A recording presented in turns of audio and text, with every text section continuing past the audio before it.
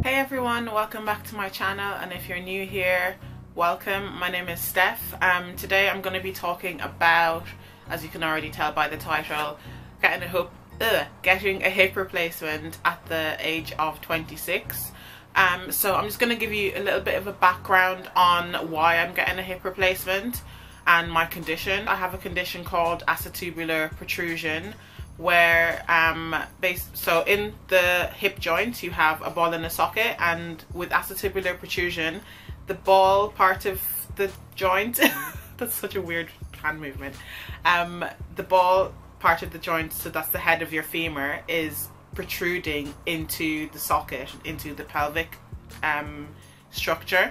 So uh, it causes a lot of pain it causes arthritis which is what I have in my right hip joint so that's why I need a hip, a hip replacement because that's really the only thing that's going to fix the protrusion. Um, I've had steroid injections and well I've had one dose of steroid injection it only lasted about four weeks which is very small because it's meant to last at least you know six months I was told at the age of 25 which was in November 2017 that I need a full hip replacement. And honestly when my consultants told me that I was quite shocked.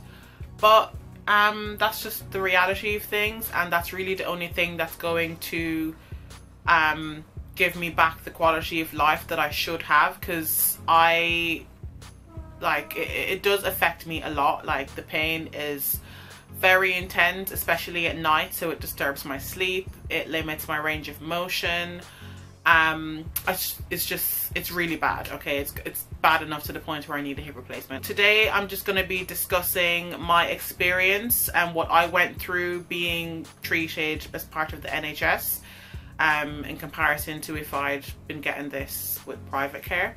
Um what it's like in the UK you know having to go through the whole process and also I just want to share this with other people who might be going through the same thing as me because when I was told that I needed a hip replacement I was quite shocked as I said. And I was looking for you know information and other people who might have gone through the same thing as me. But there's not like there's nothing on the internet. There's literally like I think I found three videos one of them was a guy in his mid to late 30s, I think. There was one girl in her 20s as well, but she's from America. So like I said, I want to share an experience of what it's like in the UK. And then I found someone else who made a video saying that he was going to be getting a hip replacement, but that was it. Like there was no follow-up, there was no other information, anything else. It's, it's pretty, you know, it's not, the information out there is not great. So I want this to be able to help other people who might be going through the same thing um, and just to share my experience really because it's not every day you come across a 26 year old with an artificial hip. If you're interested in, you know, sharing this experience with me, just stay tuned. I'm planning to make follow-up videos. Um, so my surgery is actually tomorrow. It is the, what day is it today? It is 12th of August. I should have known that because I know my, my surgery date is tomorrow. Um, my surgery is on the 13th of August, Monday. And to say the least, I'm fucking terrified. Sorry for swearing. Like, I'm just... I'm, I'm so like scared it's like my brain hasn't even accepted it yet but I'll be fine and I'll like I'll I have to be fine first things first what is it like going through the NHS trying to get a hip replacement um, so as I said previously, my um, doctor, not my GP, but my consultant, so he's um, surgeon in my um, local hospital, in my NHS trust.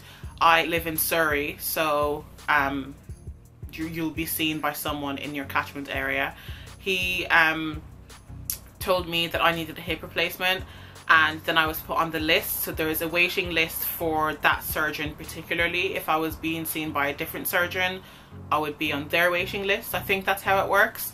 Um, so I was told in November and put on the list in November 2017 I didn't get a surgery date until June and the surgery was a month from the date that I was told. It was pretty frustrating because that's an awfully long time to wait, like six months before you're even told anything. And obviously for me, because like I am a lot younger, like I have a full-time job, like I have a life to plan, like I have things to take into consideration if I'm going to be taking time off work etc but once I was told the date even from then there was so many changes so many hiccups so many like oh your consultant's not in clinic today so you can't see him. Oh sorry we had to change the date because he's on holiday he's doing this he's doing that.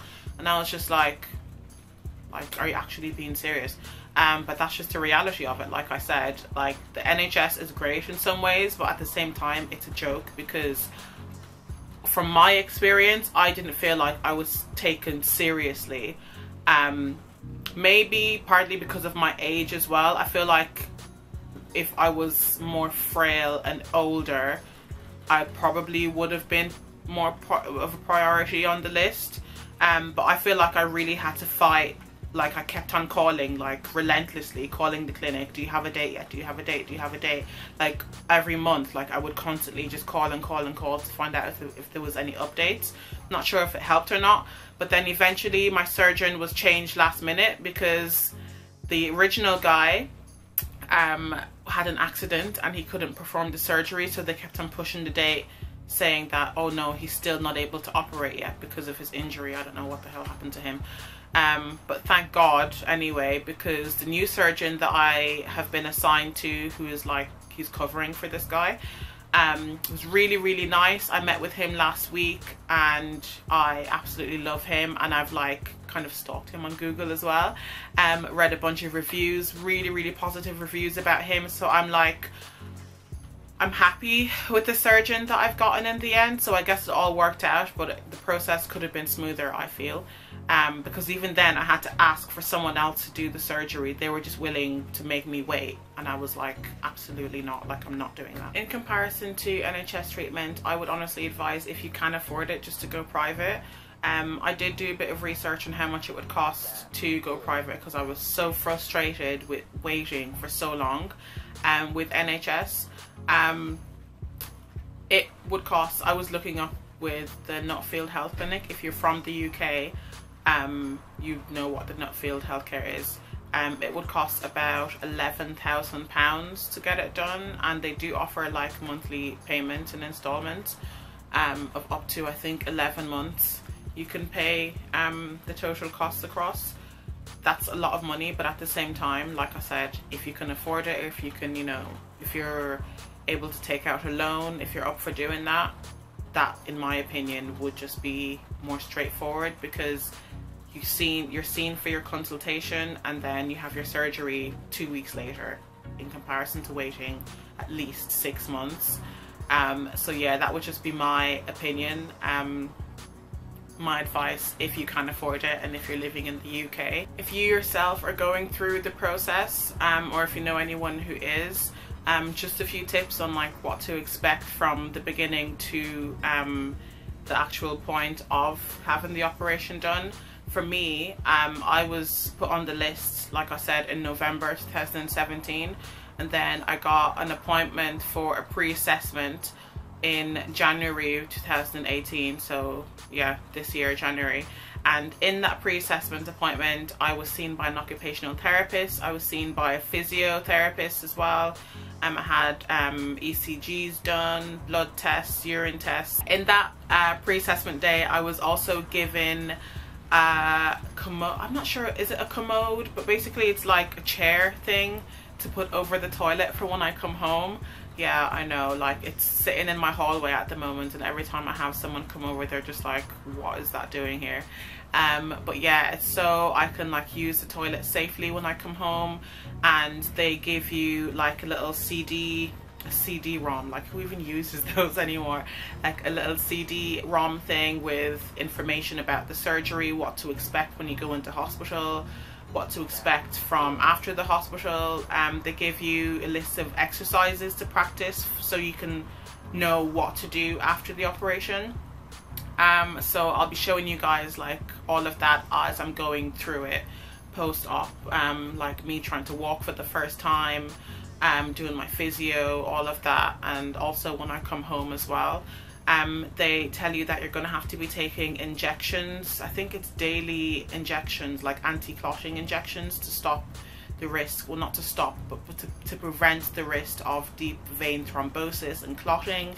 Um, you also have to wear like special com um, compression socks as well to stop your um, legs from getting blood clots. Um, just like so many things, like also the risks as well, what to expect. Your legs may be different lengths afterwards. You might have um, ongoing pain in the site of the surgery. Um, oh, and the scar. So basically, uh, the first surgeon that I was seen by told me that he was going to make an incision like under my bum, just like under the cheek area and go in that way. Um, and the scar would be quite minimal and you wouldn't really be able to see it. Um, but then the surgeon that I'm actually being um, treated by now says he's using more or less the same technique, but the incision site is going to be different and it's going to be um, like on the side of my um, hip like bump area. And it's going to be like at least I think he said six to eight inches long which is quite big. And he was just straight with me. He was like bikini won't cover it. It's not going to be pretty. But that will allow me to have the best access to work on the hip properly. Um, so I've been also looking up like scar creams. I've gotten some scar cream um, that I'm gonna use afterwards. And yeah I hope all goes well. Like I'm trying not to freak myself out too much. I mean there's also a 5% chance that I'll never walk again and I'll be paralyzed but I mean I'll take those chances because like I said before the pain is so intense and it's just it's affecting like every aspect of my life as well at the moment. So I really want to be able to train and work out like I want to. I know I won't be able to do everything 100% but not being in pain all day every day and not being able to sleep I think would be nice you know? I don't think that's too much to ask for. That's just a little bit. I don't want this video to be too long so I'm gonna like you know end it here but if you have any questions or any comments or anything just leave them in the comment section below if you're interested in learning more about my journey please hit the subscribe button and um yeah share this video with friends uh, family members, anyone that you think would be interested and follow me on Instagram as well. I'm very active on Instagram. I am going to be doing lots of stories, Instagram um, lives, everything just to capture this moment as much as I can. And yeah, thank you so much for watching and I hope to see you in my next video.